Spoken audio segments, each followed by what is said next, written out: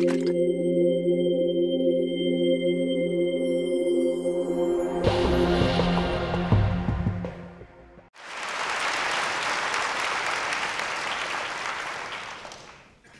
your image of a graffiti artist is a long haired, hip hop listening, unshaven, spray paint wielding social misfit, you might be right.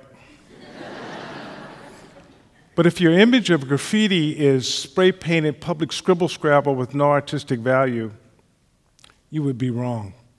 It's art, it's aerosol art, and it's made by aerosol artists.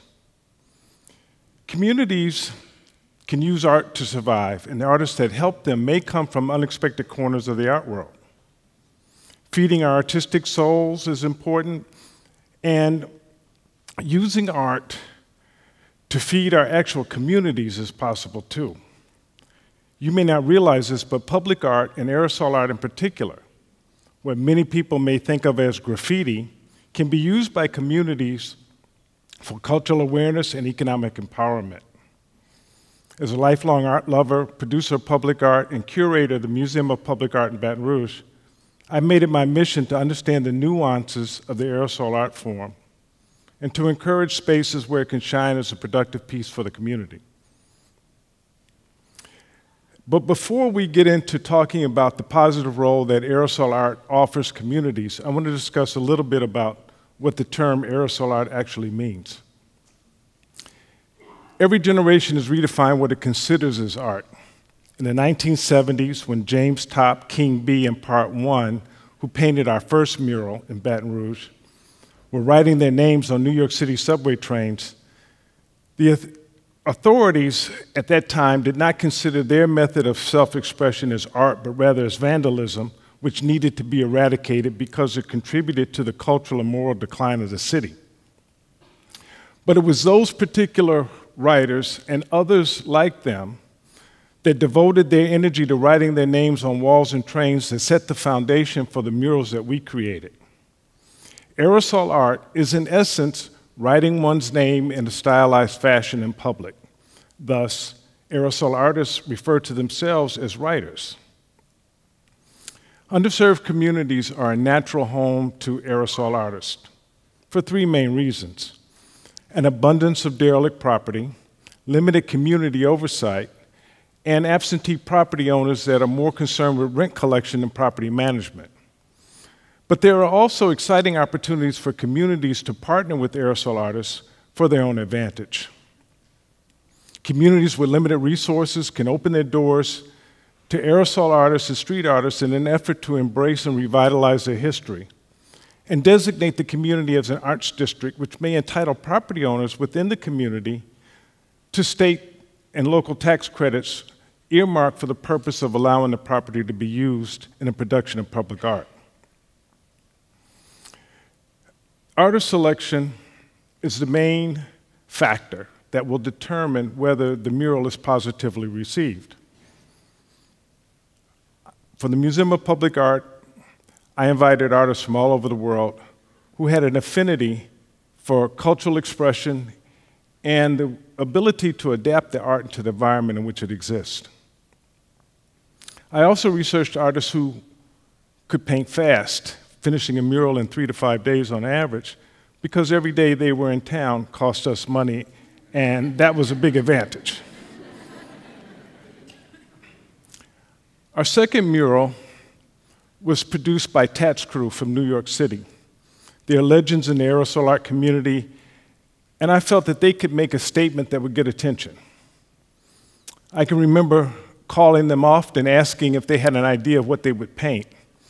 And if they did, they were not willing to share it with me, even though I was the one that commissioned them. Needless to say, the finished mural was a total surprise.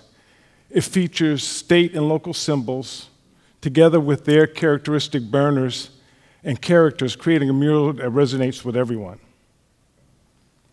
After this experience, I realized how important it is to carefully select artists who can intuitively interpret what is needed. And after having produced over 40 murals, I have observed that Even though our artists come from different parts of the world, they genuinely want to interact with people from the community. And they have a different way of interpreting what they observe. In most cases, for the Museum of Public Art, we allow the artists the freedom to paint what they want and in what manner. However, we're also not opposed to collaboration. We secured permission to paint on the side of a beauty shop, and the owner wanted to be involved in the process of determining the content and elements of the mural. I knew that I needed to find an artist that had experience painting African American women in an Afrocentric manner, and immediately the artist Rahmaan Statik from Chicago came to mind.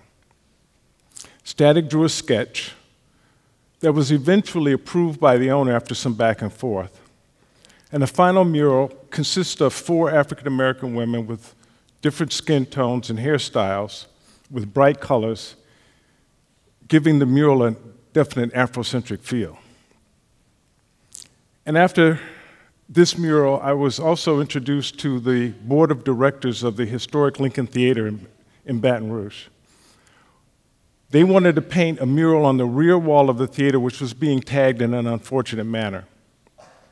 Their only stipulation was that we illustrate what historically the theater represented, which is art, music, and history. And there were also other areas of the community that were in need of transformation. We painted four buildings at the intersection of Terrace and St. Joseph Streets, depicting the journey of African Americans in Louisiana. The first building was painted entirely by community residents with house paint and geometric shapes, depicting the African motherland. The second building in the series depicts a period of enslavement. And we have a 3D image of an elderly lady sitting in a rocking chair as she's sewing a quilt, tending to a young child. The third building in the series on the corner depicts Baton Rouge's early involvement in the civil rights movement with the Baton Rouge bus boycott in 1953. And we continue this historic theme around the corner to the abandoned property, painting the Old South Baton Rouge race riot of 1972 on the side of the building, and a 3D image of H. Rap Brown, an Old South Baton Rouge native famous for the slogan, Burn, Baby, Burn, holding a lit match on the porch. Now, public art can be used as an agent not only for visual transformation, but, uh, but public art can give rise to social engagement, which can lead to a positive change in the way communities see themselves. Murals are a natural repellent to negative energy. Graffiti taggers will not tag a wall where there's a mural simply out of respect. The Lincoln Theater was being tagged as a memorial to slain drug dealers before the mural that we painted was created. And drug dealers who want to go unnoticed will not sell drugs in the area where there's a mural and will tend to move to a less visible location. Case in point, there was a drug dealer across the street from the houses that we painted on Terrace who moved from the house he occupied simply because of all the attention that the houses across the street were getting. As the artist Pose 2 says, art raises the vibration of the community. And in communities that want to get the ball rolling, they can organize volunteers and start painting blighted properties with simple shapes and simple colors. And this is something that anyone can do, and it can have a big impact. And if there are resources to organize a festival or an event, many graffiti artists will come on their own dime, especially if a few legendary artists are known to attend. And eventually, with time and consistent effort, a community which was once known for all things negative and shunned by the city is now the focus of attention for all things good. Here, a bridge is created between the old South Baton Rouge community and the broader community outside world in a positive way. And when a community is considered as an asset rather than a liability, it becomes easier to apply for funds for further development. We